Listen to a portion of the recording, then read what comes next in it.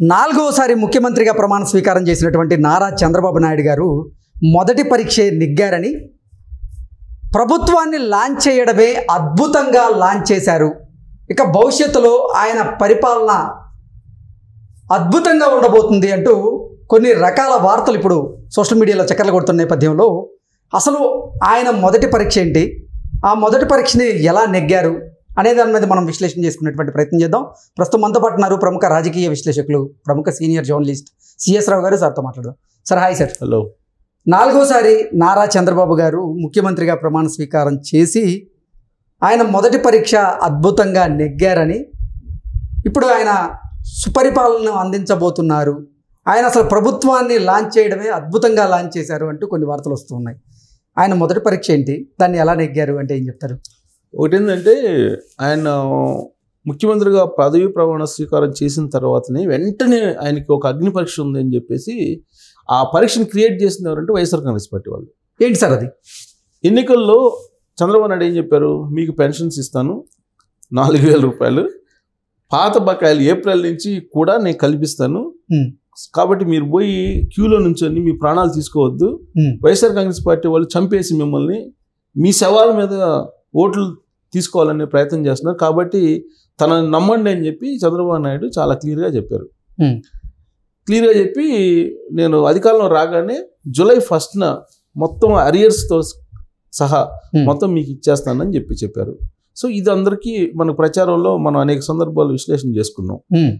Result వచ్చింది. Result వచ్చిన తర్వాత చంద్రబాబు నాయుడు ముఖ్యమంత్రిగా ప్రమాణ స్వీకారం చేశారు. ఆ రోజు నుంచి వైఎస్ఆర్ కాంగ్రెస్ పార్టీ వాళ్ళు చేసినటువంటి ఛాలెంజ్ ఏంటి? వాళ్ళ సొంత మీడియా కానీ లేదంటే వాళ్ళ లీడర్లు కానీ వాళ్ళు చేసినటువంటి ఛాలెంజ్ ఏంటో తెలుసా. జూలై ఫస్ట్న అసలు చంద్రబాబు నాయుడు చెప్పినట్టు పెన్షన్స్ ఇవ్వలేడు ఇవ్వడు. మీరు నిలదీయండి. ఇదే స్లోగన్ చేసుకుని దాదాపు పదిహేను రోజుల నుంచి వాళ్ళ సొంత మీడియాలో చంద్రబాబు. నాయుడిని ఇరకాటం ఇరకాటంలో పెట్టేలాగా వాళ్ళు ప్రచారం భారీగా హోరెత్తించారు. సో అది చూసిన తర్వాత నిజంగానే పెన్షన్స్ రావేమో ఇవ్వలేరేమో అనేటువంటి సిచ్యువేషన్ కనిపించింది. ఎందుకని కనిపించిందంటే జగన్మోహన్ రెడ్డి దిగిపోయిన నాటికి మొత్తం ఖాళీ కుండ. ఖజానా జీరో. ఖజానా జీరోని కదా అసలు మైనస్లో పెట్టి వెళ్ళిపోయారు డబ్బులేం లేవు కదా.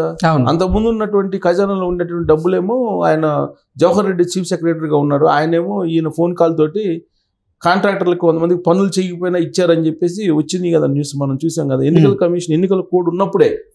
దాదాపు పదమూడు వేల కోట్ల రూపాయలు డైవర్ట్ చేసేసి వీళ్ళు ఇచ్చేసుకున్నారు మొత్తం ఖజానాన్ని ఖాళీ చేసి అదే. ఖజానా ఖాళీ అయింది కాబట్టి కొన్ని పోర్ట్లని తాకట్టు పెట్టేందుకు ప్రయత్నం చేశారని సెక్రటేరియట్ తాకట్టు పెట్టేందుకు ప్రయత్నం చేశారని ఇలా రకరకాలుగా కొన్ని మన వార్తలు కూడా చూసాం పెట్టారు సెక్రటరీ Hmm. తాకట్టు పెట్టారు కదా పెడితే తప్పేంటి అని కూడా కొడాలి నాని అన్నాడు. అవును ఏమైనా రాసున్నారా? సెక్రటేరియట్ ఎక్కడా తాకట్టు పెట్టకూడదని? అవన్నీ కూడా మాట్లాడారు. అవన్నీ పెట్టేశారు అయిపోయింది. అవన్నీ పెట్టిన తర్వాత అన్ని లాస్ట్ మిగిలింది ఏంటంటే సీసీ కెమెరాలను పెట్టారు. పోలీసులు వాడేటువంటి సీసీ కెమెరాలను కూడా పెట్టి ఆ సీసీ కెమెరాల ద్వారా వచ్చేటువంటి ఆదాయం ఏదైతే ఉంటుందో ఆదాయం చూపించి అప్పులు కూడా తీసుకొచ్చుకున్నారు. అయిపోయింది. అప్పులు ఎంతవరకు తీసుకురావాలనో అంతవరకు తీసుకొచ్చారు. దివాళా తీయించారు. ఒక మాట చెప్పాలంటే దివాళా రాష్ట్రం. ఖజానా చూస్తేనేమో మైనస్లో ఉంది. మొత్తం జగన్మోహన్ రెడ్డి టెన్యూర్లో రెండు వేల పద్నాలుగు నుంచి రెండు వేల ఇరవై నాలుగు వరకు ఒకటో తారీఖు మేము జీతాలు తీసుకోలేకపోయాము అని చెప్పి ఉద్యోగులే చెప్పారు కదా. ఆ ఉద్యోగులపై గవర్నర్ కంప్లైంట్ చేశారు కదా. గవర్నర్ కంప్లైంట్ చేసినట్టు అతన్ని సూర్యనారాయణ అతను సస్పెండ్ చేశారు కదా. అంటే ఒకటో తారీఖు జీతాలు ఇవ్వండి అని చెప్పి అడిగినందుకు వాళ్ళని సస్పెండ్ చేశారు వాళ్ళ మీద కేసులు పెట్టారు. అంటే ఎప్పుడు కూడా ఒకటో తారీఖున జీతాలు ఇవ్వలేదు జగన్మోహన్ రెడ్డి. అలాగే పెన్షన్స్ ఉద్యోగ రిటైర్ అయినటువంటి ఉద్యోగులకి ఇచ్చేటువంటి పెన్షన్స్ ఇవ్వాల. ఒక సామాజిక పెన్షన్స్ మాత్రమే ఇస్తూ వచ్చాడు ఆయన. ఇలాంటి పరిస్థితుల్లో ఆయన లెక్క ఏంటి? ఆయన లెక్కేసి ఎలక్షన్ సందర్భంగా చెప్పాడు జగన్మోహన్ రెడ్డి. తాను రెండు లక్షల ముప్పై వేల కోట్ల రూపాయలు ఇచ్చాను. ఇప్పుడు కొత్తగా చంద్రబాబు నాయుడు ఇచ్చేటువంటి దీనికి అదనంగా మళ్ళీ ఇంకొక లక్ష కోట్లు అవుతాయి. ఇవన్నీ కూడా మీ నెరవేర్చే కాదు. చంద్రబాబు నాయుడు మీరు నమ్మొద్దు. చంద్రబాబు నాయుడుకి విశ్వసనీయత లేదు. చంద్రబాబు నాయుడు మాట తప్పుతారు. ఆయన మోసగాడు. ఇవన్నీ చెప్పాడు జగన్మోహన్ రెడ్డి. తనకి విశ్వసనీయత ఉంది. తన మాట మాట తప్పును మడమ తిప్పును ఇవన్నీ చెప్పుకుంటూ వచ్చాడు కదా జగన్మోహన్ రెడ్డి. సో ఎన్ని చెప్పినా కానీ ప్రజలు ఏంటి చంద్రబాబు నాయుడిని విశ్వసించారు. విశ్వసించి ఆయన ఓట్లేసి అప్రతిహతంగా గెలిపించారు. నూట అరవై నాలుగు ఇచ్చి ఆయన్ని గెలిపించారు కూటమికి. సో ఇప్పుడు ఇప్పుడు ఆల్రెడీ ఓడిపోయిన తర్వాత ఇంకేం చేయాలి? చంద్రబాబు నాయుడు ఇచ్చినటువంటి హామీలను అమలు చేస్తాడా లేదా? దాని మీదనే తన భవిష్యత్తు ఆధారపడి ఉందనేది జగన్మోహన్ రెడ్డి ఆయన పరోక్షంగా చెప్పాడు. ఆయన ఆల్రెడీ ఓడిపోయిన తర్వాత ఏం చెప్పారు? మా నా అవ్వ తాతలు ప్రేమ ఏమైపోయిందో మా అక్కా చెల్లెముల అభిమానం ఏమైపోయిందో నేను అసలు ఓట్లు ఎటుపోయినాయో వాళ్ళవి మోసపో మోసం జరిగిందని తెలుసు కానీ ఆధారాలు లేవు. దానికి ఆధారాలు చూపలేం కాబట్టి మనం మోసం జరిగిందని చెప్పి అనలేము. పైన బీజేపీ వాళ్ళు పెద్దలు ఉన్నారు. ఇక్కడ చంద్రబాబు నాయుడు వీళ్ళంతా చాలా పెద్దోళ్ళు. ఏదో చేశారు అనే యాంగిల్లో ఆయన మాట్లాడాడు. మాట్లాడేమన్నాడు? అయినా కానీ మళ్ళీ మనకు నలభై శాతం ఓట్ బ్యాంక్ ఉంది. చంద్రబాబు నాయుడు ఇచ్చినటువంటి హామీలను నెరవేర్చలేదు. నెరవేర్చిన అవకాశం లేదు. ఆయన పాపాలు పండిపోతాయి. పాపాలు పండిన తర్వాత మనమే మళ్ళీ అధికారంలోకి వస్తాం. ఈ చెప్పాడు కదా. ఫస్ట్ పాపం ఏంటి? ప్రత్యేక హోదా అనేది అడగట్లేదు. అది ఫస్ట్ పాపము. ఇంకా రెండోది ఆయన ఇప్పుడు పెన్షన్లు ఇవ్వలేడు. ఇలా పాపాలు పండుతూ పోతుంటాయి. వంద పాపాల వరకు చూద్దాము.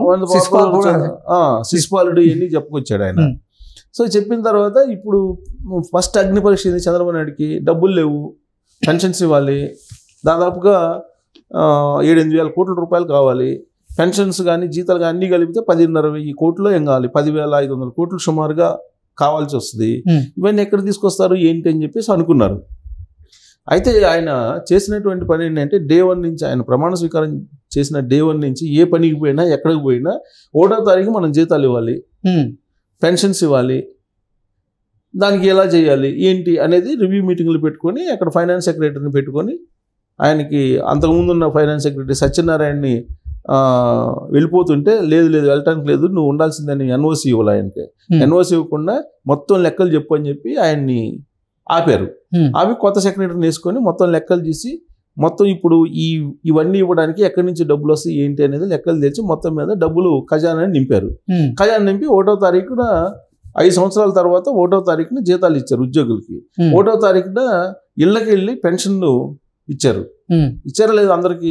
ఏడు వేల రూపాయలు ఇచ్చారు కదా? ఆయనే స్వయంగా ఒక ఇంటికి వెళ్ళి మరీ ఆయన పెన్షన్ ఇచ్చిన ఇంటికి చూసాం. ఇచ్చారు. అందరు మంత్రులు వెళ్ళారు అందరు ఎమ్మెల్యేలు వెళ్ళారు.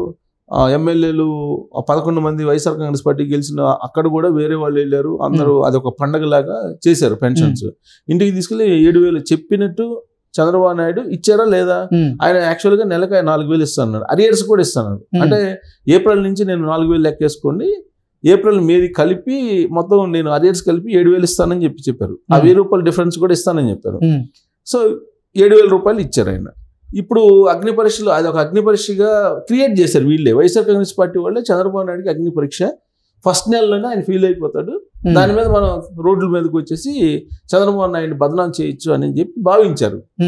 సో కాబట్టి ఫస్ట్ పరీక్ష అదే ఆయనకి. అది నెగ్గారు కదా. అది నెగ్గిన కంప్లీట్గా నెగ్గినట్టే కదా. పాలాభిషేకం చేస్తున్నారు కదా. అవును. ఎవరైతే పెన్షన్ తీసుకున్నారో వాళ్ళు పాలాభిషేకం చేస్తున్నారు. పవన్ కళ్యాణ్కి చంద్రబాబు నాయుడుకి ఇద్దరికి కలిపి పాలాభిషేకం చేస్తున్నటువంటి దృశ్యాలు అనేకం చూసాం కదా. సో ఇంకా వైఎస్ఆర్ కాంగ్రెస్ పార్టీ వాళ్ళు ఏదైతే అనుకున్నారో ఆ పరీక్ష వాళ్ళు పెట్టినటువంటి పరీక్ష వాళ్ళు క్రియేట్ చేసిన పరీక్ష ఒక రకంగా చెప్పాలంటే పెట్టిన పరీక్ష కాదు క్రియేట్ చేసినటువంటి పరీక్షలో మార్కులు పడ్డాయి. వందకు వంద మార్కులు పట్టడంతో పాటు లాంచింగ్ కూడా ప్రభుత్వాన్ని లాంచ్ చేయడం కూడా ఫీల్ గుడ్ ఫ్యాక్ట్ తోటి లాంచ్ చేశాడు ఆయన. అంటే పాలాభిషేకం చేసే పరిస్థితికి తీసుకొచ్చుకున్నాడంటే ఒక మూడు వారాల్లోనే ఆయన అద్భుతమైనటువంటి పాలన అందించబోతున్నారు భవిష్యత్తులో అనే దానికి సంకేతాలే కదా. అవును.